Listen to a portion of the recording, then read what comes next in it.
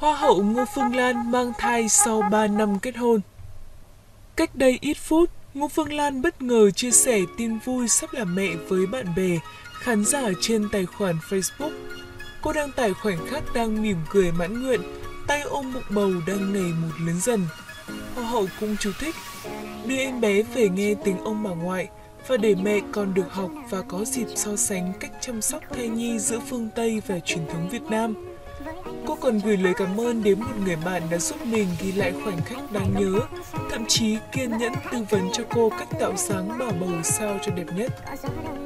Ngô Phương Lan lên xe hoa vào tháng 12 năm 2013 với ông xã người Anh là Locke Whittaker, chồng của Hoa hậu Thế giới người Việt 2017, từng tốt nghiệp Đại học Warwick và có nhiều năm sinh sống làm việc tại Việt Nam. Sau 3 năm kết hôn, đôi vợ chồng mới có tin vui và sắp chào đón con đầu lòng chào đời. Trong một bài phỏng vấn, Phương Lan từng tâm sự về ông xã. Tôi đặc biệt yêu sự quan tâm sâu sắc và đúng lúc của anh đối với những người thân trong gia đình và bạn bè. Đôi khi, tôi mải mê làm việc gì đó mà vô tư không để ý đến những điều quan trọng khác, anh đều nhẹ nhàng nhắc nhở.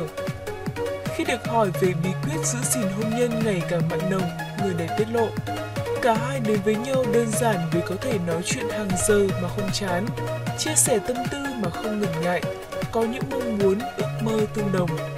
Hơn hết, trước khi yêu nhau, chúng tôi đã trở thành những người bạn rất thân thiết. Ông xã vẫn thường nói với tôi rằng em là người bạn thân nhất của anh. Tôi thích sự mối quan hệ bạn bè này kể cả trong hôn nhân. Đăng quang Hoa hậu Thế giới người Việt năm 2007 Ngô Phương Lan không tham gia vào showbiz mà dành thời gian cho việc học, hoạt động từ thiện. Thì thoảng cô vẫn xuất hiện tại các sự kiện vì mục đích xã hội.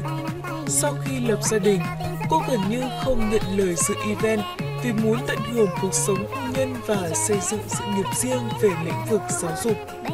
Trên trang cá nhân, Ngô Phương Lan vẫn thường xuyên chia sẻ những khoảnh khắc giản dị như ngọt ngào của vợ chồng cô khi cùng nhau đi du lịch ở nhiều nước trên thế giới. Phương Lan là một trong số những hoa hậu được công chúng ngưỡng mộ vì thành tích học tập đáng nể. Sinh ra trong một gia đình ngoại giao, từ nhỏ cô đã ước mơ được làm công việc như bố mẹ. Người đẹp tốt nghiệp quan hệ quốc tế, Đại học Geneva, Thụy Sĩ và có thể nói thành thạo tiếng Anh, Pháp, Trung. Yeah.